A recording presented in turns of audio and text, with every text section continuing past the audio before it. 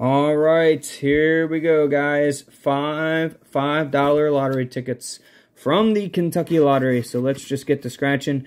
3, 15, and 19. We don't play a ton of $5 tickets. We usually play, you know, 10, 20, 30, and sometimes even the $50 tickets. Those are crazy. Uh, well, they're really fun when you win, and then really bad when you lose on a $50 ticket.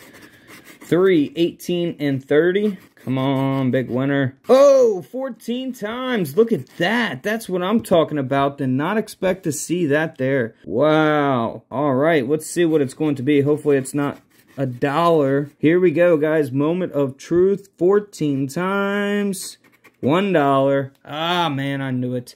14 bucks. Still better than nothing. We got $25 spent here. We got $14 back, so we're down 11. We got three more tickets to try to get a winner here. 3, 5, or 20. Or 25, sorry. 3, 5, 25. And that one there is a loser. All right, number 26 on the roll here.